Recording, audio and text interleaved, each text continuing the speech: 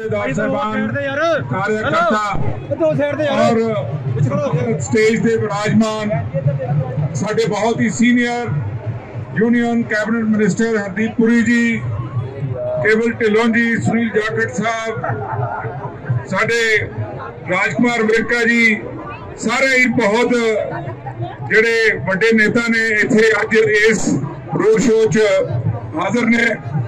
ਮੈਂ 2 ਮਿੰਟ ਵਾਸਤੇ ਤੁਹਾਨੂੰ ਸਾਰਿਆਂ ਨੂੰ ਬੇਨਤੀ ਕਰਾਂਗਾ ਕਿ ਅੱਜ ਦਾ ਜੋ ਮਾਹੌਲ ਹੈ, ਮੈਂ ਤੁਹਾਨੂੰ ਇਹਦੇ ਬਾਰੇ ਦੱਸਣਾ ਚਾਹਣਾ ਕਿ ਜਲੰਧਰ ਵਾਸੀਆਂ ਵਾਸਤੇ ਇਹ ਇੱਕ ਸੁਨਹਿਰਾ ਮੌਕਾ ਹੈ ਕਿ ਬਣੀ ਬਣਾਈ ਸਰਕਾਰ ਔਰ ਜਿੱਥੇ ਮੋਦੀ ਸਾਹਿਬ ਦਾ ਨੇਤਰਤਵ ਹੈ, ਉਹਨਾਂ ਦੀ ਲੀਡਰਸ਼ਿਪ ਹੈ, ਉਹਨਾਂ ਦੇ ਦਿਸ਼ਾ ਨਿਰਦੇਸ਼ ਨੇ ਕਿ ਉੱਥੇ ਅੱਜ ਬਣੀ ਬਣਾਈ ਸਰਕਾਰ ਦੇ ਵਿੱਚ ਅਸੀਂ ਹਿੱਸਾ ਜਾ ਰਹੇ ਹਾਂ ਔਰ ਜਲੰਧਰ ਦੇ ਜਿਹੜੇ 9 ਸਾਲ ਪਹਿਲਾਂ ਇੱਥੇ ਸੰਸਦ ਰਹਿ ਚੁੱਕੇ, ਤੁਹਾਨੂੰ ਪਤਾ ਲੱਗ ਜੂਗਾ 9 ਸਾਲ ਬਨਾਮ 9 ਮਹੀਨੇ ਕਿੰਨਾ ਫ਼ਰਕ ਹੈ।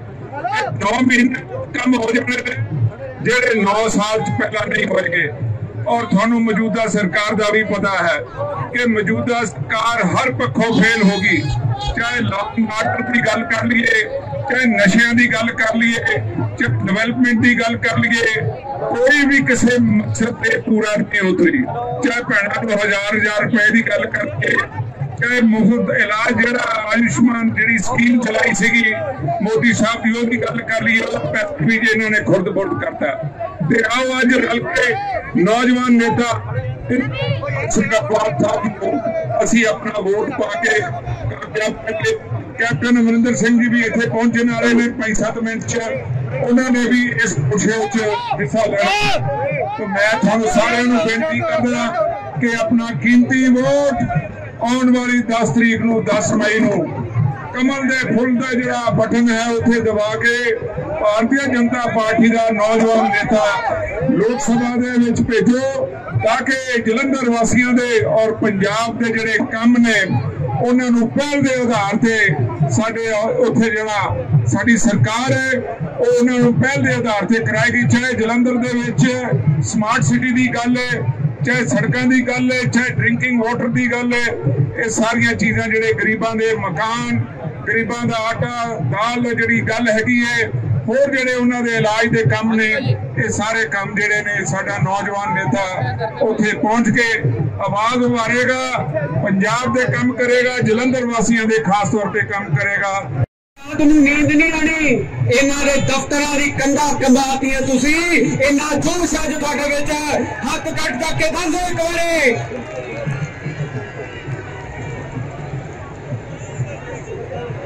ਵੇਰਕਾ ਸਾਹਿਬ ਨੇ ਕਿਹਾ, ਜਲੰਧਰ ਨੂੰ ਰੰਗ ਦਿਓ। ਮੈਂ ਤਾਂ ਹੁਣ ਕਹਿੰਦਾ ਦਿਨ ਦੂਰ ਨਹੀਂ, ਜਦੋਂ ਪੂਰਾ ਪੰਜਾਬ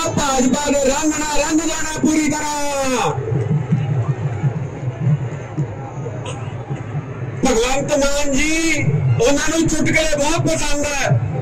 ਪਰ ਭਗਵੰਤ ਮਾਨ ਜੀ ਨੇ ਵਾਦੇ ਸੁਣ ਕੇ ਮੁਹੰਮਦ ਰਫੀ ਦਾ ਗਾਣਾ ਯਾਦ ਆ ਗਿਆ।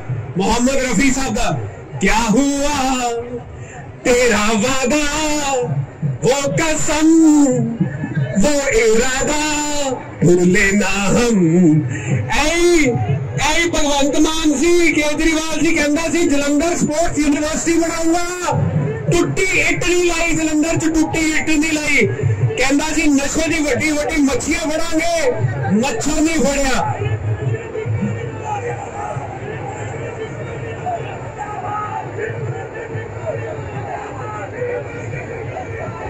ਆਪਣੇ ਵੀਰਾਂ ਨੂੰ ਇੱਕ ਕੰਮ ਕਹੂੰਗਾ।